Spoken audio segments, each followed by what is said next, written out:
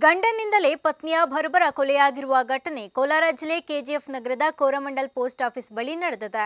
ಕೊಲೆ ನಡೆಸಿ ಆರೋಪಿ ಪತಿ ಎಸ್ಕೇಪ್ ಆಗಿದ್ದಾನೆ. ಗಂಡನ ಕಿರುಕುಳ ಹಿನ್ನೆಲೆ ಗಂಡನಿಂದ ಪತ್ನಿ ಪವಿತ್ರ ದೂರವಿದ್ರು ಆದರೂ ಮಗುವಿನ ಯೋಗಕ್ಷೇಮ ವಿಚಾರಿಸಲು ಮನೆ ಬಳಿ ಹೋದಾಗ ಆರೋಪಿ ಪತಿ ಲೋಕೇಶ್ ಮಚ್ಚಿನಿಂದ ಕೊಚ್ಚಿ ಕೊಲೆ ಮಾಡಿದ್ದಾನೆ. ತೀವ್ರ ರಕ್ತಸ್ರಾವದಿಂದ ಪವಿತ್ರ ಸಾವನ್ನಪ್ಪಿದ್ದು ಉರಿಗಾಂ ಪೊಲೀಸ್ ಠಾಣಾ ವ್ಯಾಪ್ತಿಯಲ್ಲಿ ಘಟನೆ ಸಂಭವಿಸಿದೆ.